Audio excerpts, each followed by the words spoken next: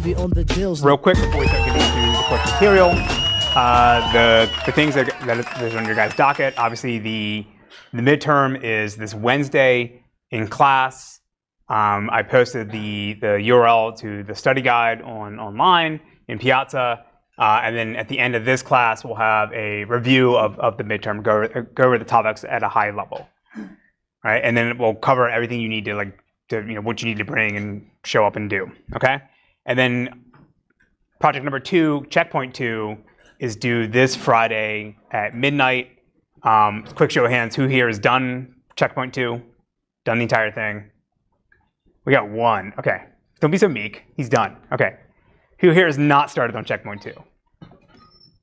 I saw a hand. Okay, it's okay. All right, fine. Okay. Again, this is why we made it, made due on Friday, and I realized you guys have midterms and other classes, so that's why we push it off them. Okay. Uh, so the other thing I want to go over real quickly is some administrative stuff. Um, so these, these are the department basically got back to me, and they want me to curse less in this class. So I'm going to try to do that. I can't always promise it. Um, but we uh, there's some other things going on that I think are actually kind of interesting, kind of relevant. So first is that I found that there's a Chinese version of YouTube that's basically copying all our our uh, our videos, right? So good for them. Okay. Uh, and then the other thing is too because you know not that I post this on YouTube just for just giggles, right? I do it because I want you guys to have access to to everything. We get a lot of email, or at least I get email from people complaining about the course. Um, so this is, uh, I don't have my list here. Hold up, sorry. I don't want to use their names. I use, okay, sorry. So this is uh, this is uh, JL in Seattle. He basically says um, that we're awful. He doesn't like us, and we need to give you back your money. Um, this is CM in uh, in San Jose. He says I'm a joker. Uh, I have I smell the guy have diarrhea, whatever. Like so, it is true. I did have a medical problem where I had bad hygiene a year before, but I'm on medicine now. So this, I, I think this is old news. What he, we got. Um, but occasionally you get actually useful emails, right? So this is actually somebody, Erik Darling. He's from a major SQL Server uh, DBA consultant company, and he watched the lecture from last class on joins, and he said he said that I said something that was actually incorrect, and he's absolutely right. So when I was talking about joins, I was saying that oh well, building hash tables like building an index on the fly. Uh, and as far as I know, no database system actually would build a B plus tree on the fly. Only they're only going to build hash tables to do hash joins. And he actually says actually this is incorrect. The SQL Server has a feature called index spooling, where they will build a B plus tree on the fly just for the query that, that you're actually doing. And SQLite does sort of something some, something similar. Um, but anyway, so this is actually a, a, really cool website where you can dump out the SQL Server XML of a query plan, or query, the XML of a query plan from SQL Server, and you upload it to the website, and it gives you a nice visualization of this. All right, so we thank Erik for correcting us. Uh, there's much more comments on YouTube for other things we've, we've gotten correct and incorrect, but I'm not going to read all of them. Okay? So again, I take any feedback you guys can provide because I want to make the course better uh, year after year. So don't don't send me bad emails, send me good ones. Okay. All right. So today's topic is on query optimization. So this is actually uh, one of my favorite lectures. We're only you know the one of my favorite topics in uh, in databases and part of the reason why it's one of my favorite topics is because I'm actually really bad at it. And this is the one area I will fully admit that I, of all like, database systems, that I don't fully understand maybe to the extent that I would want to. And for whatever reason, that makes me like it even more. Um, and so to understand what we're going to do in, in, this, in this lecture is we have to go back and understand what SQL actually is. Right? So, so SQL is a, is a query that someone sends to the, the database system and, and, that says, here's the answer I want you to compute. Right? And it's done in a declarative way. So there's nothing about what is in the SQL that says, you know, run this join algorithm, run, you know, run your, your sorting this way. It just says, give me this answer. And it's up for the database system to figure out the, the best way to actually do it. So we saw this, right, when we talked about joins and sorting. I said there's a bunch of different algorithms you could actually use, right? In case of joins, you could do nested loop, you could do hash joins, you could do sort merge. And they have different algorithmic properties and trade-offs. And under uh, different scenarios, you may actually want to run one algorithm versus another. But when you write a SQL query that join two tables, you don't say, join table A, you know, take table A and do a hash join on it with table B. You just say, I want to do a join, right? You're just saying what the answer you want to be. And so it's up for the database system, and in particular, the query optimizer, which we're going to focus on today, to figure out what the best algorithm uh, to use for your particular query based on what it knows about the data. And so we saw that there was a big difference in performance when we talked about joins, right? We said that if you do the most stupidest thing with a nested loop join, then you could take your query, take 1.3 hours, but if you do a hash join, then you're down to less than a second. So as we go along, we'll see, well, I'll, I'll sort of mention that uh, in various, various cases that this is the one thing that really separates the commercial database systems from the open source ones. Right? This is what makes commercial, part of the reason what makes commercial databases so, so expensive, right? Because it's going to be this query optimizer. Because they're going to have an entire floor at these database companies with much, you know, dudes with PhDs trying to figure out how to squeak the best performance you can get out of uh, a database system through its query optimizer, right? And there's been studies that show in, that the, actually the Microsoft query optimizer is actually the best one out there. The, not to say the open source ones are bad, in particular Postgres, it's just in terms of the level of sophistication, the, the kind of things they can support, uh, the commercial ones are much better. So the original idea of a query optimizer goes back, as, as many things do in databases, goes back to IBM System R. So remember I said that in the beginning of the semester, System R was this internal project by IBM Research down in San Jose, where they took Ted Codd's paper on the relational model and said, here, let's actually try to build a system that actually implements this. And so Ted Codd never actually proposed SQL. Um, he later proposed his own uh, declarative language called Alpha that nobody ever actually implemented. Um, so IBM came up with part of the System R project. They came up with, with the, the earliest version of SQL. So given, again, it's a SQL to declarative language, they then need to be, be able to take that query and actually generate a execution plan uh, that, that, was, that, was, that was efficient. So at the time, in the 1970s, people were arguing that a, a, database management system could never produce a query plan as efficient than what a human could write. Right? So therefore, it was, you know, SQL was a dumb idea, or having query optimizer was a dumb idea, because it's never going to be as good as what a human can do. Right? You can sort of think of this as the same argument they were having in the time of the 1970s about C, the, the programming language. They argued that no human would ever be able to write algorithms and write applications in C uh, and then have a, a, query optimizer, or sorry, a compiler generate a, a, a execution uh, machine code for your program that would be as efficient as what a human could write in assembly. And of course, nobody writes assembly anymore, right? Everyone relies on compilers. So it's the same argument, but just in a different context, right? For, for SQL, people argue that be better off people writing CODASYL or whatever they wanted to do their joins themselves rather than having a compiler figure things out.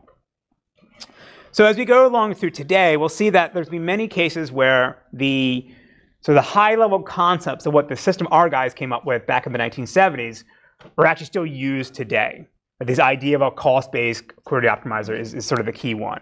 And the algorithms may be slightly different, and some of the assumptions that IBM made in the 1970s may not be so valid anymore.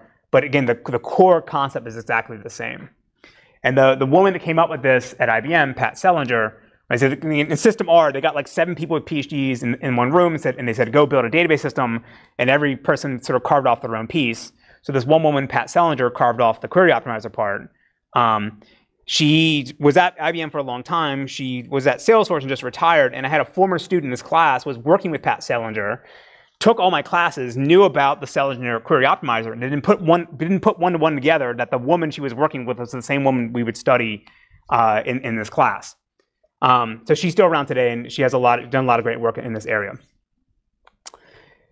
So for query optimization, we're, we're basically going to have two approaches. The first is going to be using uh, heuristics or rules written by us as humans to do some massaging of the query plan to apply some some obvious optimiz or fix some obvious inefficiencies and apply some some simple optimizations. Right? So the idea would be you have your, your query shows up and you do some minor rewriting of the, the syntax tree. You never operate directly on the SQL. And the idea is that we, there's certain things we know we're always going to want to do to make the query run faster. So we just have rules to go ahead and just do them before we go into the second phase, where actually now we do a cost-based search. So the second phase is where we're going to say, all right, we now need to figure out other things about our query plan, and I don't have rules that I can apply to say, here's exactly what you're always going to want to do, because the, the choices you'll make will depend on what your data looks like, and I'll explain what that means in a second. And so we do a search to find what it would be, what is an optimal query plan for, for our query, right? The idea here is that we're going to have this cost model to say, given two potential query plans for a single SQL statement, which one is actually better in terms of, of performance. So just to understand the, so the pipeline of this uh, in a real system, it, it, at a high level, it would look like this. So your application submits a SQL query, and the first step is that it always goes through a SQL parser. Right? And the SQL parser is going to then convert it into an abstract syntax tree. Right? That breaks up the tokens and you know the select statements, the where clauses, and, and gives you this tree. But inside this tree now, all we have are just the strings or the names of the things that were in the SQL statement, like select star from table foo, right? In our syntax tree at this point, we just have the, you know, the string foo. We don't know anything about it. We don't know that it, it, it corresponds to a particular table. So in the binder phase, we go do lookups in our internal system catalog about the database. Right? It's the metadata about the data. What tables do I have? What columns do I have? What indexes do I have? Things like that. And it's going to map the, the, the names that are in the strings that are in our abstract syntax tree to internal identifiers. Right? Just think of like it's a you know internal ID number for a particular table. And then we feed now this annotated abstract syntax tree to this uh, query rewriter, the thing I showed in the first step in the previous slide, where we can apply some rules that we that we know we're always going to want to apply to our query plan to to to to, to make it go faster, to make the query run faster. And I'll show examples of what that is uh, as we go along. So not every single database system has this, right? You can still just have a query optimizer without this, this initial step, uh, but this is actually very common in most systems. And then in the last step, when we take the output of the, the rewriter and feed this into our cost-based query optimizer. Again, think of this as doing like an optimization search, looking at different query plans, getting information about the what the tables look like from the catalog, and then using some kind of internal cost model to say, you know, here's the, here's the potential runtime cost of, of executing this query plan. The idea is you want, you want to be able to, to examine as many query plans as possible within either a, you know some, some, kind of budget, like in terms of time or the number the number of plans you'll investigate, and then whatever which one is the best one you've ever seen, that's the one you'll spit out as the final query plan for this query.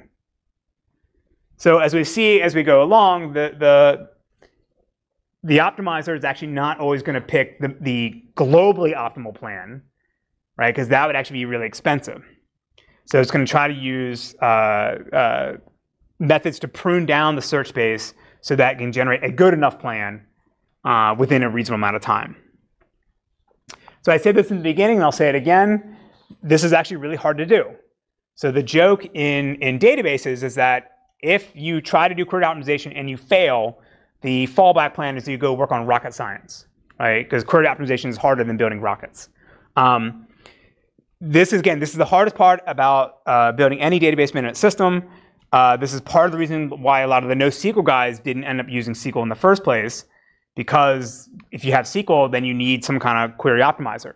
And this is hard to do. It's hard to get right. There's all these different corner cases, right? As, SQL expands, you have nested queries and other things. This is really hard to get right. Um, the one thing I will say also too is that if you're good at this, if you really like query optimization, you will have no problem getting a job. So I have friends in various database companies, and they email me asking for you know what, you know, what students are looking to graduate, looking for jobs. And the one thing I always get is like, yeah, we want database students, but we really want anybody that knows query optimization. So if you're good at this, you can have no problem getting paid a lot of money. Because um, when you think about it, know, what like 22 year old kid coming out of grad school or undergraduate program has experience in query optimi optimizers, right? It's like crusty old guys from the 1990s, and they don't really want to, you know, move maybe to like a startup and things like that. So this is the one thing that, that database companies are really, really interested in. So as we go along, I imagine, and talk about the various problems that we have to solve in our query optimizer, a lot of you are going to be saying in the back of your mind, oh, can't machine learning solve this? You know, can't, can I use AI to make this all go away, make it much easier? Yes, but no. Uh, there has been some early research in the last one or two years at looking at using machine learning uh, to, to sort of improve the accuracy or improve the the quality of the query plans that the optimizer generates. Uh, but as far as I know, no, you know, this is still early work, and no major database system actually supports this. Um, Postgres has a genetic algorithm-based query optimizer that if you try to do joins with more than 13 queries, then it falls back to that to the genetic algorithm. But what we'll describe today is basically how most most systems actually do this. And I'll say also too for the applying machine learning to query optimizer is actually something we're interested at here at CMU. Um, we do have students looking looking into this now, but it's still very early. I love query optimization so much. Again, I'm really bad at it, and it just makes me want to do it even more so I get better at it. So in the advanced class, you know, previous year, to already spend two weeks on query optimizers and cost models. But if you take the advanced class this spring, I'm probably going to add another week to go over, you know, more complex scenarios. Right? We build our own query optimizer from scratch here at CMU, and we just, you know, I'm very interested in, in making it better. Okay, so for today's class, we're going to talk about, uh, we're going to have sort of four parts talking about different query optimization steps we have to do. So we'll talk about how to do relational algebra equivalencies to do the rewriting that we talked about before. Then we'll do plan cost estimation. How do you actually say, for a potential query plan, how many tuples, how much disk am I going to have to read to make it, make it ex execute it? Then we'll talk about how to do enumeration or searching for different query plans and sort of build up a query plan holistically and look at the cost at each step. And then we'll talk about how to do the sort of two ways you can do optimization with nested queries. And we'll finish up talking about, again, the, the remaining time going over the, the, the midterm at a high level. Okay? Okay, awesome. All right, so we didn't really mention this in the beginning of, of the semester when we talked about relational algebra. Um, but the the high level idea is that what we're going to try to do this in this rewriting step is a query is going to show up. We'll generate the relational algebra from, from, from the, the abstract syntax tree. And then because of rules we know about the uh, relational algebra for, to determine, you know, to permute the, the expression and still have them be equivalent with, the, with each other, we can apply certain rules to generate a more optimal query plan that way.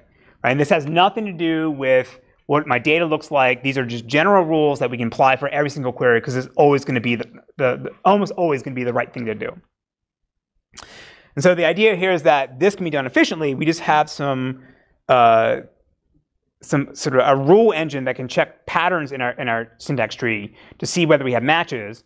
And if we have matches, then we can easily apply apply those rules and modify the the, the, the tree. So to give you an example of what I mean by this, say we have a simple join on the student table and the enroll table, right? And the so we have our join predicate on the student ID in the student table and the enroll table, and then we have an additional predicate on the on the on the enrolled grade. And so the if you just take the the SQL and almost generate exactly the, the, the relational algebra for this, you would end up with a query plan that looks like this, right? But what's one obvious thing we can do to optimize this query? Yes. Exactly. Check the predicate. You said check the predicate before we join. So we have our filter on grade A here, but we're doing that after we do the join. So again, always try to think in terms of, of extreme numbers to see, you know, how something would actually affect performance. So say we have a billion records in the enroll table, and only two people got an A in the, in the entire university, right? So that means that when we feed this data into this join operator, we would do a join on 1 billion tuples from the enroll table. Then we have 1 billion tuples come as the output, which is fed into now the filter operator.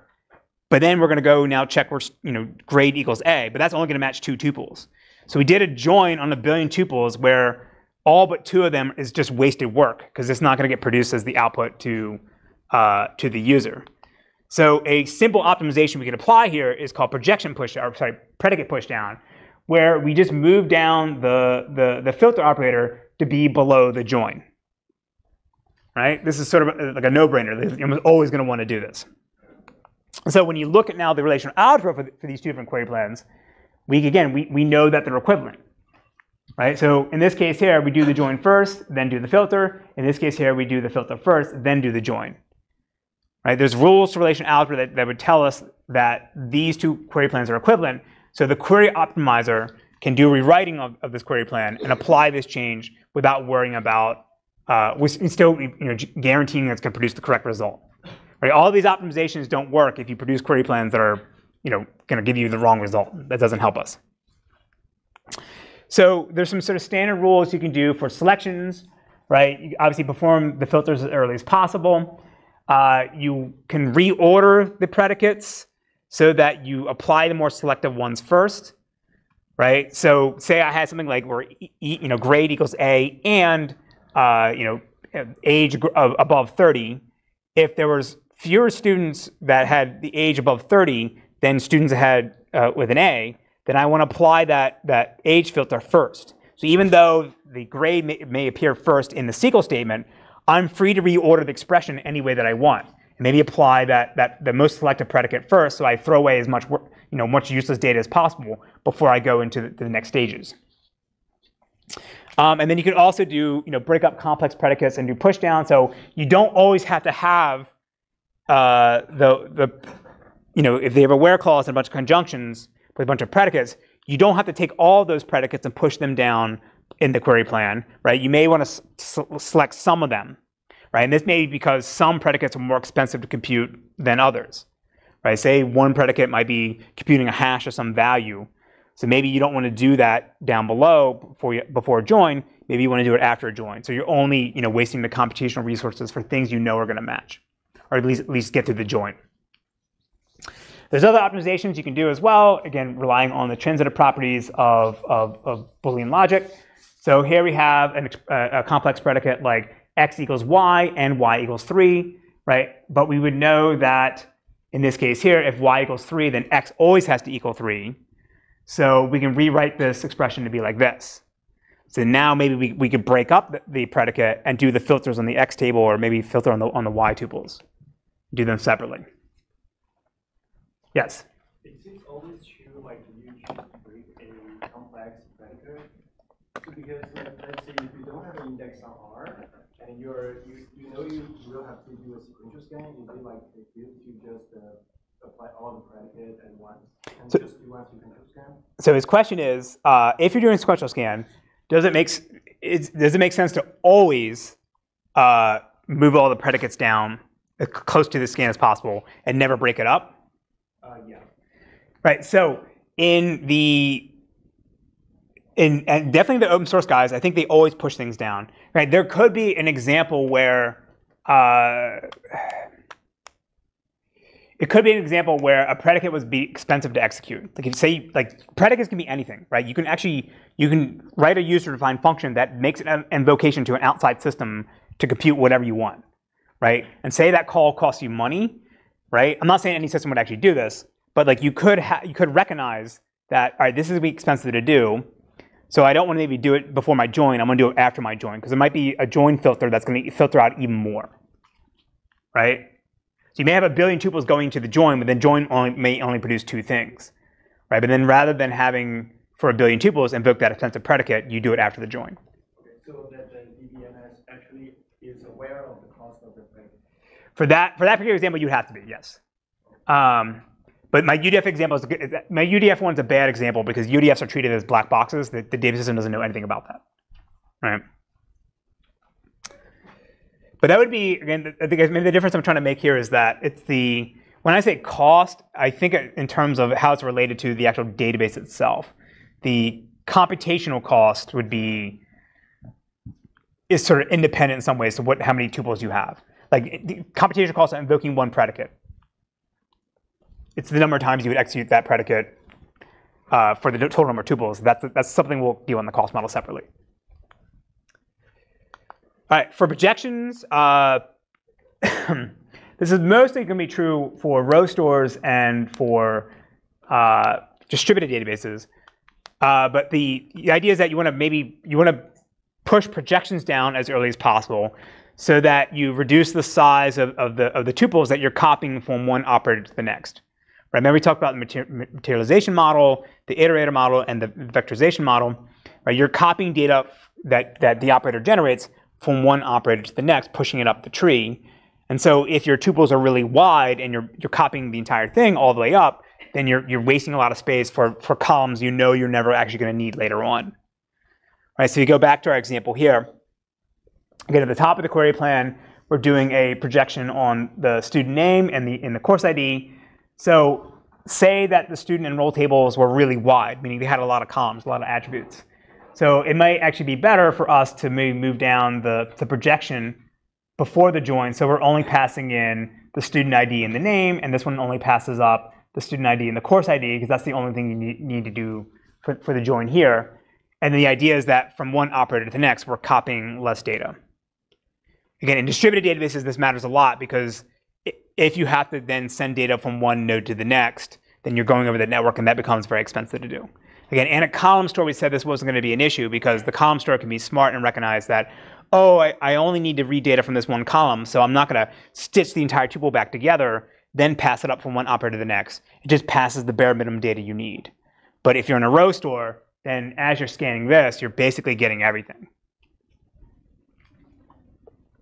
All right, so let's look at some other examples uh, how to uh, do optimization without, um, without a cost model. So this actually comes from a really great blog article that came out last year from uh, a, a DBA, where he basically came out with a bunch of different types of optimizations you can apply for queries, that again, without having to cost model. And he looked at how the different database systems actually would support them and whether they can recognize the inefficiencies in the in the in what what's in the SQL query and try to rewrite them to be more efficient or better.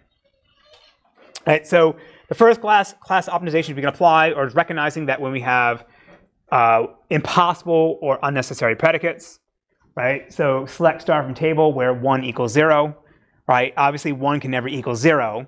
So it doesn't make sense for us to actually scan through every single tuple and apply this predicate because it's always going to be false and no tuple is ever going to match right? So some systems can recognize, in this case here, that this, you know, this will never evaluate to true.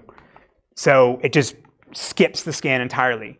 It'll give you back a result set, right? Because you, because if I execute a query, I always want back, I always want a result set, right? This is not an error, right? This is, there's no reason, this is still valid SQL, but it can just be smart and say, well, I'm actually, I don't need to run anything.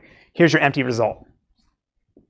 Another example would be like this, right? Select star from A where one equals one. Obviously, in our where clause, 1 will always equal 1.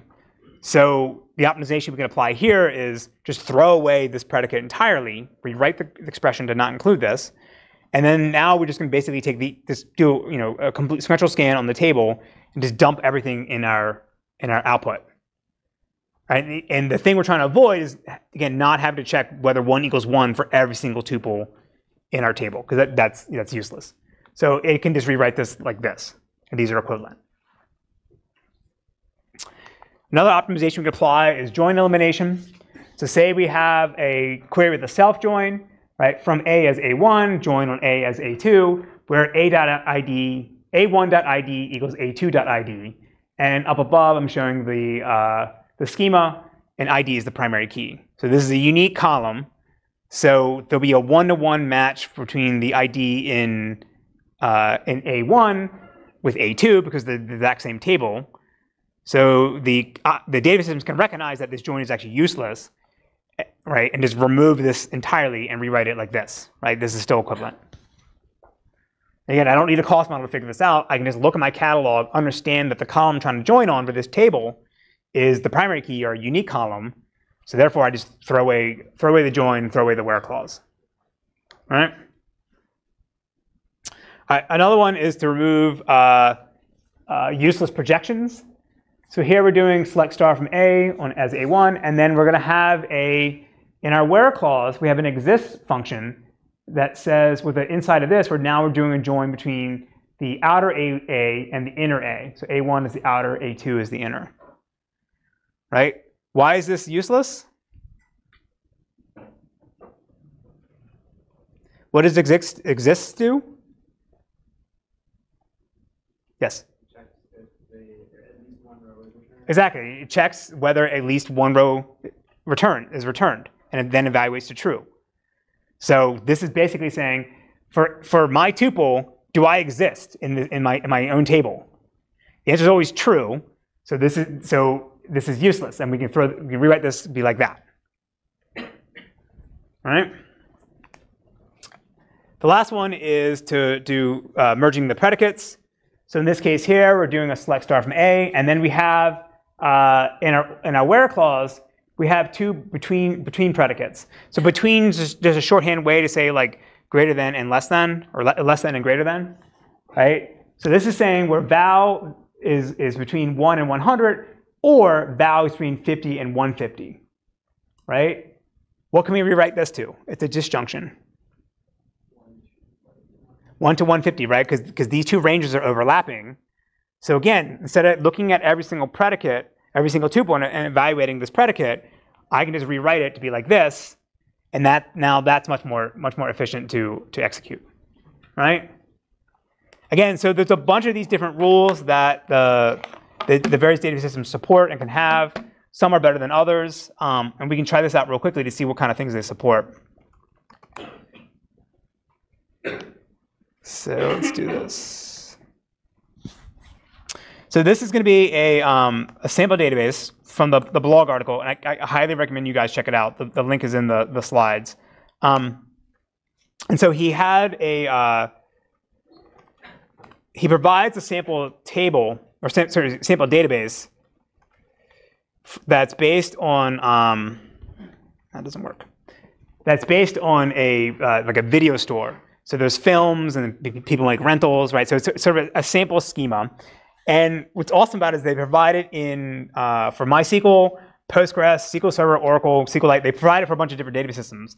So we can try it for uh, all these systems at the, the, same same schema and the same query. All right, so this one we have Postgres, we have MySQL. I got the Linux version of SQL Server 2017 running on, on, on my machine, and then we also have SQLite. So let's start with the first one. Uh, in, in Postgres, right? Select star from actor where one equals zero. And here I'm doing explain analyze because I actually want to execute the query and see what Postgres actually does, right? And so again, this is this is an impossible where clause. So we know that it, uh, it shouldn't actually look at any data. In this case here, as far as I can tell, it, actually it looks like it didn't actually run at all, right? Because it says rows equals zero. So it's a one-time filter that's always valued to false, so it knows that there's, this thing will never value to true, so it just doesn't execute anything, and, and this gives you back an empty result. Let's try this in, uh, in MySQL. So MySQL doesn't have explain analyze like Postgres does, uh, and their explain is not as good as, as Postgres. Um, Postgres actually gives you the, the query plan tree, which is actually really nice. So MySQL gives you, this is 5.7, it gives you some metadata, and you see here it says impossible where clause. So it didn't actually run anything, it just recognized that uh, this thing will never evaluate to true. So it, it, it knows it doesn't actually need to scan anything on, on the table. We'll try this in, um, in SQLite. I don't think SQLite gives you a good explanation. Yeah, it doesn't really tell you anything. All right, it just says I did a scan on table. If I remove the query plan clause from it, um, it gives you a bunch of this. I won't, I won't explain this now, but basically the way SQLite actually executes queries is that they convert the query plan into these opcodes. Think of like the bytecode in the JVM, and then they have an interpreter for it, right? Which is kind of interesting. So th that's what all, all that's what all these opcodes are, and then this is sort of roughly showing you what, what they're actually doing. So as far as I can tell, it doesn't uh, doesn't look it doesn't look like they're able to recognize that it's it's an impossible query. All right, the last one was uh, uh, SQL Server. So SQL Server, as far as I know, does not have uh, does not have explain. You have to do this like show show plan thing, right? And it tells you that it's turned on. And then we can now run a query, and it doesn't actually run the query. It just tells you that I did it. Um, and here again, there's no there's no there's no metadata to say whether it recognized it was impossible, right? It says constant scan and I, suppose that they would evaluate the false and knows it doesn't actually do the scan at all. All right, let's try the, uh, the range query one. So we go back to Postgres. Um, so Postgres is, is not able to recognize that these predicates be merged. Again, they rewrote the between clause to be greater than equal to and less than equal to, but it still looks like they're still going to perform the, the you know, the, the scan for both of those predicates, right? The, both of those ranges. We go to, uh, to MySQL.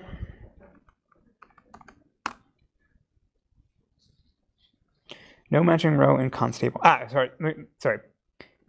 I, I, let me- let me go back to this. Let me explain it. So actually, I'm not doing the same range scan I had before. I'm actually doing an impossible range, right, between one and two, and uh, between 199 and, and 200, right? So these are disjoint sets. We're doing a conjunction on them, disjoint ranges. So it should never get, never actually match.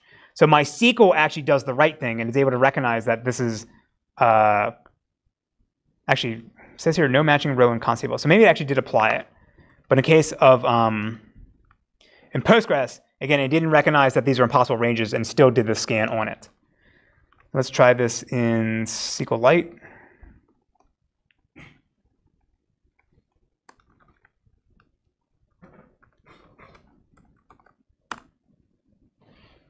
Again, as far as I can tell, it's it's still doing the it's still doing the range scan on on the query. It doesn't recognize that these things are disjoint.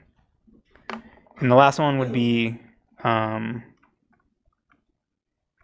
where are we? There we go. We'll try this in um, in in SQL Server. Again, it doesn't tell you anything. It tells you constant. There's a way to turn on the more verbose, like XML query uh, query plan of, of the of, of SQL Server, but you need you need a viewer for that, which I don't have. Right? It's just we just have the, the terminal. All right. So the last one I want to do is the projection pruning. Um, so this is back. This is back to Postgres. So here we're going to do a select statement, and all we have is just exists where select is one divided by zero, right? So again, exists returns true whether there's at least one thing that will match inside of inside of uh, the whatever we have inside of it, right? So I could do something like this: select one, right? Something will match because there's a tuple with, with one attribute, the value is one. And then the outer select will say, all right, is there anything inside that inner select? If yes, then return true, right? So that's what we expect, like this.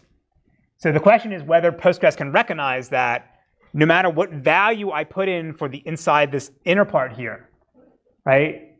No matter what's in there, it's always going to be a tuple. So therefore, it's always going to evaluate to true. So therefore, it doesn't need to even execute whatever that projection is in there. So I can try to compute, you know, the, the, the millionth digit of pi, it's still going to evaluate to true. So you want to see whether Postgres can recognize this and not actually execute anything. And the way we can test this is by doing invalid division, right? One divided by zero. So if it actually ex- executes that, that predicate, then it'll, it'll throw an error. If it doesn't, then it'll just say true. So raise your hand if you think it'll execute it. One, two, eh, five percent. Who thinks it's smart enough to know not to do it? No one's willing to take that bet. Few people. Okay, it can do it. Right. So we can try this in uh, in SQLite. Right, comes back as true. Let's try this in uh, MySQL. Comes back as true. The question though is, I'm actually not sure if MySQL actually executes this. Um, right, so again, if I do this, if I do like that, it'll th- it gives you back null, but then it gives you a warning, and then for for for MySQL, you have to do this command, and then it says division by zero, right? If I try this in in Postgres, it should actually just throw an error, right? Division by zero. So I'm not sure whether uh, MySQL is actually executing this or not. Um, but we can try another case where we can try to give it an in, invalid uh, power, and that, that comes out to be true too. So that I think I think it's doing the right thing. Right? In that case, it throws an error if you try to do that, whereas like the divide by zero doesn't throw an error. Again, so the, the main takeaway from these is these are all rules that are gonna that the system can that can use before you even get to the cost-based search, because it knows that these are some optimizations I can apply because they're always almost always going to be the right thing to do. Okay.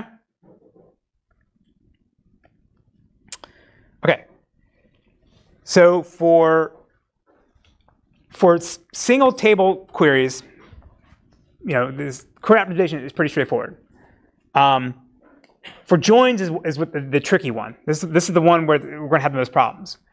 All right, and the the part of the reason that we're going to have problems is that we can apply both commutativity and associativity rules for, for our joins and reorder them in any, any way that we want, and we're still always going to produce the correct result. Right, so if I want to join R and S, that's equivalent to joining S with R. Right, still to always produce the correct result. Or if I want to join RS and T, I could join R and S first and then join that output with, with T, or I could join S and T first and join that with R. All these are equivalent, all these are valid, and so we, we but they're going to have different performance characteristics. Right? We solved this when we talk about join algorithms. You always want to put the smaller table as the, the outer table. So now how are you going to pick which one to, you know, which one, which to join first and which one should be the inner versus the outer? So what makes it so hard is that the total number of different combinations we could have is 4 to the n, right? You know it's a big number when it has a special name, right? So it's called a Catalan number, right? And so the, because there's so many different choices we could have for our join orders, and that we're not going to be able to, to, to compare every single one, we need a way to, to prune the search space, right? Because doing exhaustive search is just going to be way too slow. So we're going to hold off on this for now. We'll talk about how you're going to estimate what, whether one join is better than another, and then we'll see how we can then figure out what the join ordering should be. So the in the, the, the cost-based search, search optimization, the idea is that for a particular query plan, so the idea is again, take a query, uh, you generate the syntax tree, and then now say there's joins, you want to figure out in what order you should actually join your tables. And so you're going to try a bunch of different combinations of di those different join orderings, and you need a way to figure out which one is better than another. So you're going to use the cost model to be able to do this estimation. All right? And so it's the cost model is going to generate a number that's internal to the database system, meaning it's not really going to be a uh, uh, you know tied to wall clock time. It's not going to say you know this query is going to take 10 milliseconds. This query is going to take 100 milliseconds. Right? It's this internal metric that it uses just to compare whether one query plan is better than another. But it's going to be derived from a bunch of different information that it can collect about your data and about your hardware. Right? So you can try to think, think about like all right, well, this join algorithm is going to take this many CPU cycles, and uh, I'm going to have this many cache misses. So you know, I'll weight that be more than the other one. I know how many blocks maybe I have to read from disk, or how much data at the center of the network, how much memory I'm going to use. So this cost model is being a combination of all these things. And again, the commercial guys are way more sophisticated than the open source guys. Um, and then it's going to use that again to determine whether one is better than another. So the way you need to figure out how much resources the query is going to use is based on the statistics and information you're going to derive about the underlying database. Right? You want to know how many tuples do I have for the table from table A, and I'll join it with table B. How wide are those those those tuples? Uh, how fast is the disk that they're stored on? All this information you need to maintain then in order to figure out uh, what the how much it's going to cost to execute it. So every single database system that has a query optimizer has to have, uh, you know, it's going to have a cost-based query optimizer, has to maintain these internal statistics that it's going to collect about the data. So if your data is read-only, then this is not a big deal because you just sort of scan over it once and maybe try to collect, collect as much data as you can. I shouldn't say it's not a big deal, but it's it's uh, it's less challenging than if you're in a dynamic environment where your data is always getting updated. So the way database systems manage this is that they typically have a background sort of stats collector, I think that's what Postgres calls it, uh, that's going to scan through your data every so often or wherever, wherever, whenever you invoke it and derive some information about what the distribution and the values look like, and then maintain that in the internal system catalog that it can then be used by the optimizer's cost model to, to make estimations. So again, the different data systems have different rules about when you actually collect this data. Right? It can be like if my if I update 10% of the tuples in my table, then I'll fire off the, the, the background stats collector. Uh, if I delete all of it and load it back in, I'll, I'll run it run, run it again. Um, you can also manually invoke these things, right? The, the, Postgres and SQLite and a lot of other systems have the analyze keyword. Um, and that just tells you to, again, scan through a table and, and collect this information. Uh, SQL Server is update statistics, and then DB2 is run stats. So there's nothing in the SQL standard to say do this. Most of the times you see analyze right? But the Oracle MySQL had to be different when analyze table. So what are these statistics? What do these statistics look like? Well, the highest level, the most easiest thing is obviously the, the number of tuples I have in my table, right? If I want to know how many tuples I'm going to feed into my join algorithm after, after I do my scan, you, you, you need to know that, and you can simply derive that based on the number of tuples. But then we need to know something about the values inside those tuples for all the different columns. So the most basic thing we can maintain is the, the number of distinct values for a given attribute in our table. So we'll define this as a function var, where this just says, again, the number of distinct values I have for attribute A in, in table R. And then from this, we can now derive things we actually can use to estimate the cost of executing query plans. Right? And this is going to be the first thing we're going to derive is called a selection cardinality. And this is just going to be the, uh, the average number of records that have a particular value in an attribute for the, for the table. Right? So you think of something really simple like, you know, if I have 10 tuples and I have a single attribute and there's 10 unique values for that attribute, then the selection cardinality is, is one. Because for every given predicate, you know, if I want to say does something equal something, I'm going to get back one tuple. And so this is just taking the number of tuples I have and dividing it by the number of distinct values for, for a particular attribute. So what's one obvious limitation about this? We're taking the number of tuples we have and dividing it by the number of distinct values. It assumes, yeah, sorry, go ahead, yes. So he says you, you, you need to maintain a, a, set for the distinct values. Uh, thinking more high level than that. because the distribution is not Exactly, yes. So a big assumption we're going to make here, and this is goes back to the system R days, is that we're assuming we have uniform distribution of values to make this work, right? But we know in reality it's not the case at all, right? Just think of like just in, in, in CMU, right? CMU has 10 colleges, right? The School of Computer Science is one of them. Uh, there's way more students in SCS than what the other schools are, right? Music or something like that, right? So if we assume our data is uniform, then every college at CMU will have the same number of students. But that's not the case at all. Or think of like zip codes. There's way more people that live in New York City in those zip codes than live in, in Wyoming and Montana. So real data does not fit this pattern at all.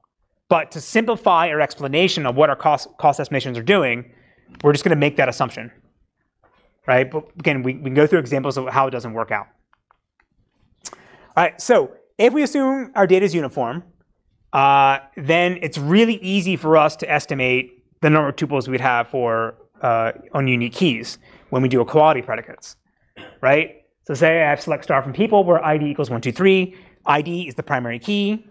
So the selection cardinality for this is obviously one, right? Because only one tuple could ever have a particular value for that for the ID field. So for, therefore, this predicate does something equals something has to always return one. Things get tricky though is when you start having other predicates. Range queries, inequalities, and inequalities are easy. Range queries, uh, uh, uh, and other things like that, and, and now complex or conjunctions and disjunctions as well, right? So now how do I estimate things like value greater than 100 or age equals 30 and status equals something, right? So now we're going to introduce, to handle, handle these, we can introduce a new concept called the selectivity of a predicate, and just think of this as like the fraction of the tuples that will qualify uh, for a given for a given predicate for like one one component of, of a where clause. And so the we'll have a bunch of formulas we can use based on the, the statistics we'll collect um, to, to estimate the selectivity, but and they're going to be based on what kind of operation you're doing, equality, range predicates, uh, and then conjunction and disjunction. So we're going to go through a bunch of these examples. Again, we're going to assume that our data is uniform so that the math works out in most cases.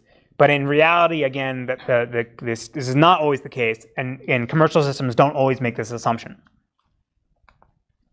All right, so we already showed how to do uh, predicates where it's you know something equals something, equality predicate on a unique key. But let's look at an example when, when uh, a key may not actually be unique. So for assuming this, we're going to have uh, the, the table people, and there'll be an attribute age, and the number distinct values for this, this age attribute will be 5, 0 through 4. And then the number of tuples we have in this table is just going to be 5. So if you want to determine whether something equals something, you know, does attribute equal a constant? Again, assuming that this is this is non-unique, then our, our the math works out to produce the selectivity. It's just we take the selection cardinality of this predicate and divide it by the number of unique values. Right? So say we're in this example here where age equals two, we can represent our data as a histogram, right? So for each age, the number of tuples we have uh, that uh, people at that age, and again, assuming in this case we only have five tuples, so each of these bars equals one. So the first thing we would get the number of distinct values along the, the bottom, the x-axis is just five, and then the selection uh, cardinality of age equals two is just one. So therefore, the selectivity of this predicate is just one over five, one fifth. Right? Simple example, and, and this works out.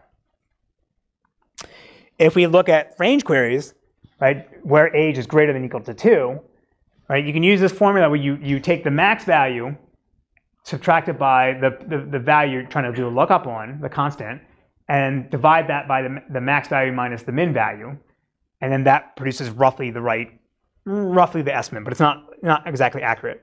So the way to think of it is we want to know what, what the selectivity is for this range here, where greater than equals to 2. So we had the min and the max, and we can, we can uh, do the arithmetic for that, and then we produce uh, a 1 half because we're taking the, the, the, ceiling of this. Again, it's not entirely accurate because in this case here, it's actually the, the, correct, the correct selectivity would be 3 fifths. The formula comes out to be 1 half. So this is a good example where the math is not exactly right. There's some corner cases like this where you don't get it perfect. If it was, uh, instead of greater than equals, equals, it was just greater than, then it would just be from this over, and then it would be 2 fifths right? And again, but if, we, if we use that simple formula, then it doesn't work out. For negation queries, this is actually really easy to do, right? Age doesn't equal to 2. Well, we already know how to compute the, the selectivity of, of age equals 2. So we just take the, the, the, the selection cardinality of age equals 2 and just negate it so that we get these other bounds here. And then now our selectivity is just 1 minus 1 fifth. So we get 4 fifths there. So it should be kind of clear at this point that these uh, the selectivity looks a lot like probabilities, right? It's like what's the probability that my predicate is going to match uh, a particular tuple in, in, in my input? And so if we assume that they're probabilities, which is not, again, it's not always exact, not entirely accurate, but if we assume that they're actually probabilities, then we can take all the rules that we learn from you know, probability 101 in our intro math courses and apply them to our, to our predicates here. So say again, you have, if you have a conjunction, right? You have an and clause, right? In this case here, I've, age equals two and named like some, some wild card, then I can just take the, the predicate, take the, the selectivity of age equals two and multiply that by the predicate or the selectivity of the predicate name equals wildcard. And then that produces my my, my total selectivity for the entire predicate, right? So think of this. P1 is this range here are the tuples that will match the first predicate. P2 is the range of the tuples that will match the second predicate. So the area in which the both predicates will evaluate to true is just the intersection of this part here. And we get that by multiplying the two probabilities together. So the big assumption now, another big assumption we're making here, is that the predicates are independent of each other. And therefore you can multiply them together. That's not always the case either, right? Think again, think of real, real, real data sets. I could have a, um, I could have a, a table of people, uh, their addresses, and I have zip code and city, all right? And for a particular zip code, sorry, particular city, it's always going to be in, in one and only one zip code. So if I assume they're independent, then if I say, you know, where zip code equals 15217 and city equals Pittsburgh, if I take those two predicates and multiply them together, I'm going to be sort of underestimating the number of tuples that will match me. Because it's really, if I'm in, if I'm in zip code 15217, sorry, if, if I'm in z- city Pittsburgh, then I have to be in 15217. So therefore, they're not independent because they're correlated with each other. So This math doesn't actually work out in real data sets. There's a bunch of different ways the commercial guys can handle this, but this is, again, another big fallacy, or another big assumption that was made in the 1970s that still carries through to today, because this makes things easier to reason about. Disjunctions, it's, uh, it's, it's the opposite of the conjunction, right? Again, we want to take all the predicates that either match this part or this part, and it's just the entire area. And then this is the math up here that takes, takes the, that makes that assumption that they're independent and adds them together. In the back, yes.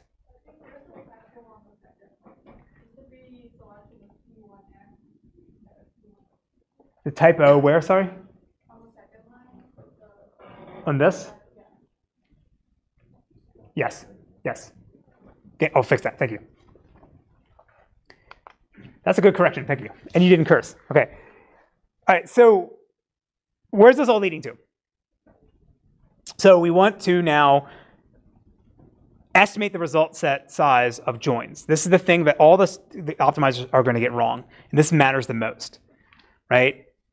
The idea is again, given two tuples, sorry, two tables, R and S, and some some some where clause of how, of how you're going to join them, we want to estimate the number of tuples we're going to produce, produce as, as output, right? If we're just joining two tables, uh, this doesn't matter that much because we really care about the number of tuples getting fed into the query plan because we can decide which one's the inner versus the outer.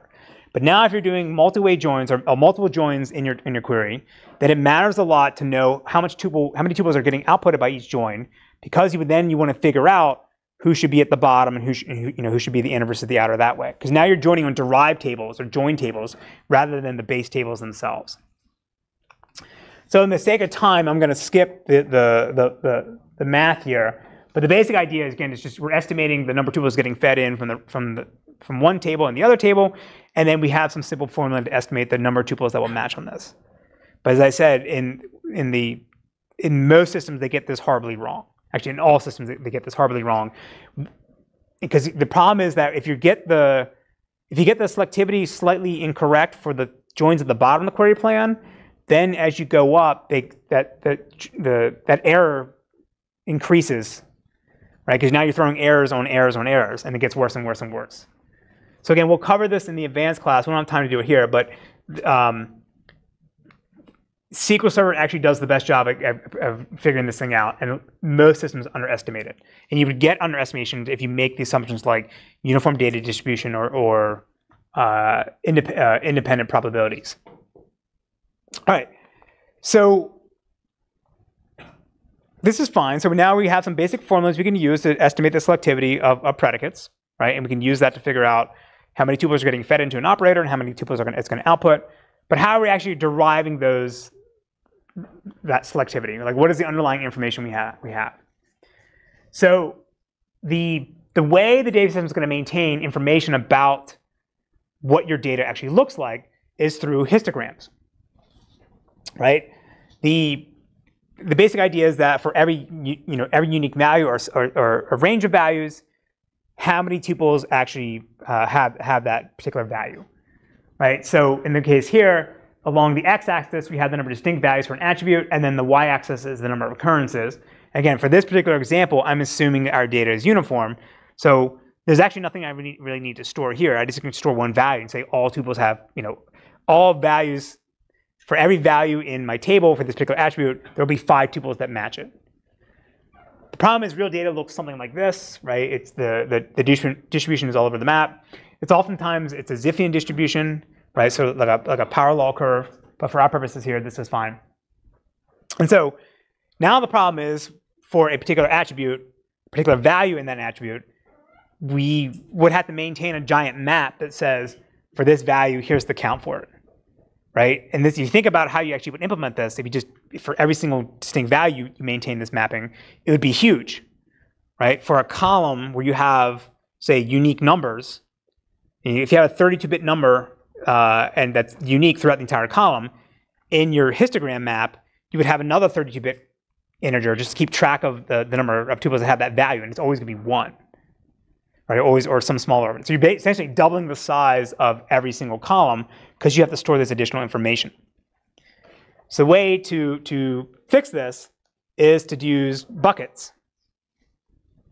right? So the idea here is that for every for every three values in our in our uh, in our histogram, we're just going to bucket them together, count the number of tuples that they have, or the number of values that, that or number of occurrences that they have, and then for every single bucket, we just have keep track of the, the min and max, and then the count for that.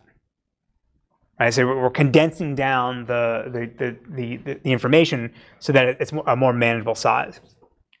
Of course, what's the obvious problem with this? Right? Say it again, sorry. He says the problem is you have to maintain these numbers. So we're not so much, yes, you have to maintain the numbers. We talked about that before. The, you run analyze or you, that you have this background process that actually does this. I'm thinking more in terms of the accuracy of this information. There can be largely different numbers. Right, he says they're going to be largely different numbers, right? So we're, we're, we're sort of blindly bucketing together uh, contiguous values in, in, our, in our range list.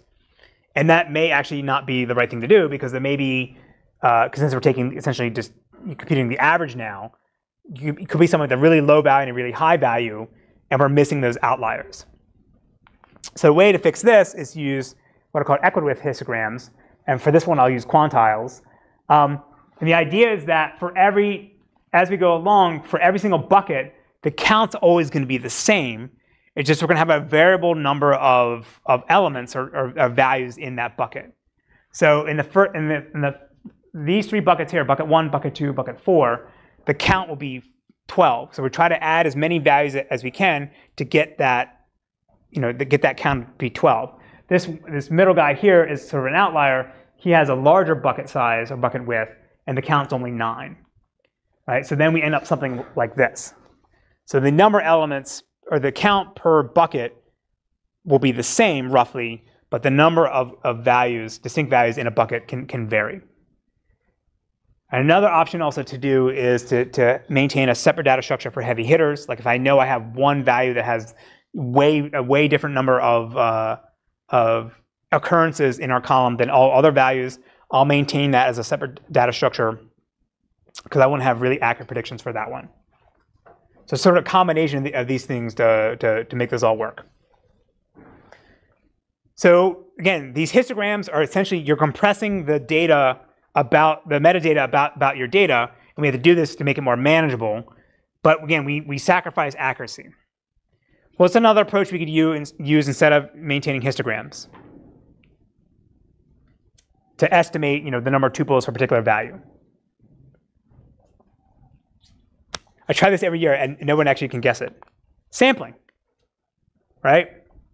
So the, the idea is that rather than checking a histogram to say, you know, how many, what's my selectivity for a predicate for on this particular value, I'll just collect some sample data from the underlying table and then just run a complete sequential scan on that sample, and that helps me, and I can use that to figure out my, the selectivity of my predicates right? So let's say I have a query here. I want to select uh, all the people with age greater than 50.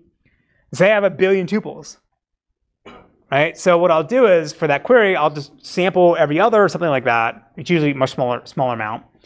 Store this in a sort of a temporary table that's only accessible to the query optimizer. So you're, you're treating this like a regular table, but it's just you can't run queries against it, right? So you're using all the same, you know, table storage and, and heap storage stuff we talked about before. And then when my query shows up and I say, all right, what's the selectivity of age greater than 50? I just do a sequential scan on my, on my sample to figure out what it is.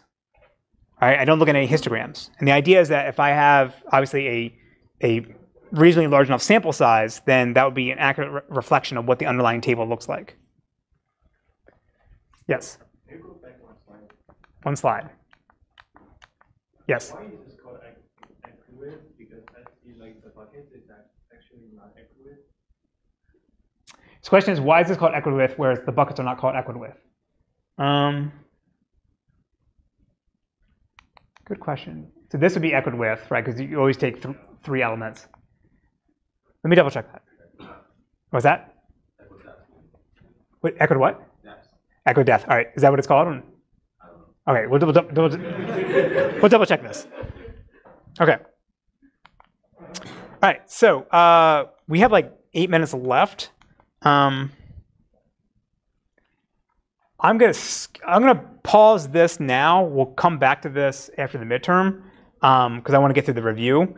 But just to understand where we're at, we we've able to uh, we have we have a way to derive information about the tables we want to run queries on. We have some formulas we can use to to estimate the selectivity of predicates. And then the next phase, we want to figure out how we actually can use that information to help us guide our search to find a better query plan. So let's pause on this for now, because we only have 10 minutes left, and we'll go to the, uh, the midterm review.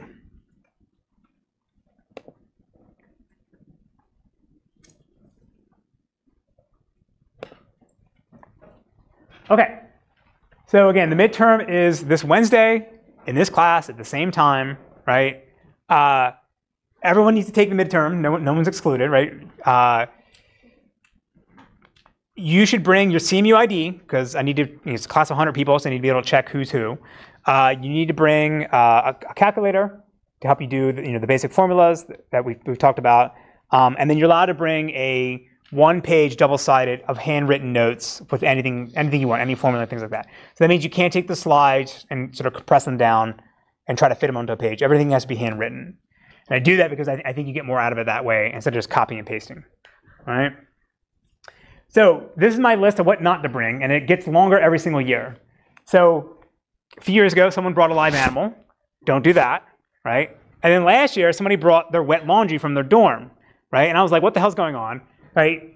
So they brought it, and it wasn't this room, it was another room. They brought it to dry while they were taking the exam, and it smelled kind of funky because it was like sitting in the washing machine overnight. So do not bring your wet laundry, all right?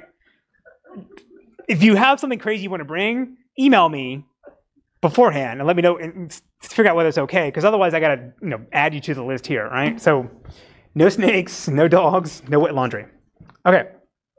So the midterm will cover everything up into up to and including the, the joint lecture lecture 12 uh, you're going to be closed book. You get you get one uh, one sheet of handwritten notes double sided and then if you need any special accommodations uh, please email me now so we, we can make sure those things happen and then this is the link to what I post on Piazza for the midterm study guide that has the listed chapters that, that are covered in, in the textbook um, that are relevant to, to the exam, and then a link to go find the solutions to any, I think, the odd problems if you want to expand uh, the things that you're looking at, and a link also to the, uh, the practice exam that we gave out from a few years ago. Okay? All right, so what's going to be on, on the exam? So obviously the relational model uh, the, you know, the focus on integrity constraints, what does that mean? Um, and relational algebra. We didn't cover any relational calculus, so don't worry about that if it's in the textbook, right? Again, I'm not going to ask you to write more complex things. Just understand what these basic operators actually do. Uh, for SQL, again, everyone should already know SQL from the first homework assignment. Uh, and so I'll ask sort of high-level questions about the more complex things that we covered, right? Joins, aggregations, to common table expressions. Right? These are the things that you guys did in the first homework assignment. I won't cover window functions because you guys weren't actually able to do that in SQLite. Um, and again, think about it. We're, we're not going to ask you to write really complex queries because you have to write it, you know, on paper. We, we're not going to be able to run it and test it and see whether it actually works. So we're more we're more interested in the high-level concepts about what these queries are actually doing. And then this comes up every year, and then for common table expressions, it would include rec- recursive expressions. So then we can get into the actual implementation of the database system. So we covered things like buffer, buffer management policies, so you know LRU, MRU, clock, um, how to handle sequential flooding. We talked about how to actually represent the database on disk, right, heap files, or linked lists, page directories, things like that. Then we talked about when you bring, or what's actually inside the page, right? We talked about slotted page layout. We talked about log structure layout. We talked about what the tuple, how to actually represent data in tuples, right? What's in the header, things like that. Then we talked about hash, hash tables. So again, there's two high-level approaches to hashing. There's the static hash tables, like linear probing, the Robin Hood, cuckoo hashing. Then there was the dynamic hash tables, extendible hashing, chain hashing, and linear hashing. And again, we're not going to ask you to you know write code. It's more about the high-level concepts of what these different uh, hashing schemes actually do. I don't care about hash functions. It's more about the, hash table itself. And then we also want to care about uh, how these data structures relate to or compare with B plus trees. Right? When would you want to use a hash table versus a B plus tree? Then we talked about order preserving tree indexes. And we spent a lot of time talking about B plus trees. You guys are building this for your, for your first, second assignment. So insertions, deletions, splits, merges, how they differ with a B tree or a B link tree at a high level, and how to actually do latch grabbing, latch, coupling, including doing leaf node scans. And any basic optimizations like you know, delayed or delayed parent uh, splitting. And then we talked about a little bit about radix trees and skip lists. I realize this is not in the textbook, so we're not going to you complicated things. It's more about a high level. What are the the what are the high level uh, design differences between these different data structures versus versus B plus trees? Then we talked about sorting. In particular, we, we focused on the external merge sort. We talked about two variants of it, right? There was the sort of the, the two-way merge sort, and then there was the the the, K-way or the general purpose external merge sort. And the basic questions are going to be things like, as you're seeing in, in, the, in the current homework assignment, right? If I have a data file that looks like this, and I have this in many buffers, how many passes do I need to do, or how, how quickly can I sort it, right?